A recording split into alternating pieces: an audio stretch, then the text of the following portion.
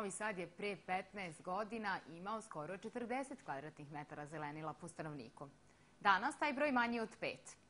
Da se gušimo u gradskom betonu nije novost, ali svakako je iznenađenje kada gradske vlasti onako mali broj drveća odluče da poseku.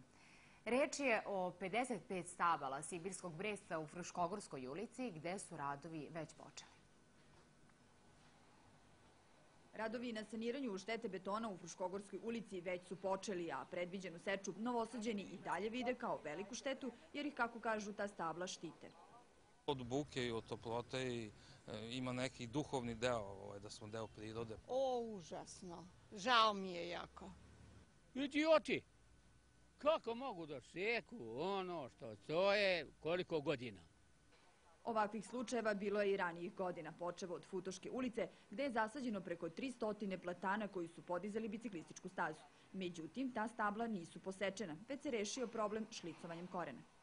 Ukoliko dođe do šlicovanja korena, a to znači, to je jedan majstorski izraz, e, presecanje korenovih žila i vađenje iz asfalta koje podižu asfalt, trotoar, pločnik, parking ili behaton ploče, za cementiranje te žile, vraćanje zemlje na e, ozleđeno mesto i onda ostale žile korenovog sistema preuzimaju funkciju koju treba da imaju. E, ponovo se radi nivelacija asfalta. Iako je u medijima ovih dana bilo polemike da je reč o nestručnom sađenju početkom 90. godina, jedan od osnovnih postulata u održavanju zelenih površina podsjeća da ne treba ni saditi zelenu površinu ukoliko se o njoj neće voditi računa, odnosno da se drveće redovno održavalo, do problema ne bi ni došlo. Nekad se ide linijom manjeg otpora, pa je lakše staviti testeru pod nož zdravom drvetu da bi parking došao na jednu čistu površinu. To se ne radi.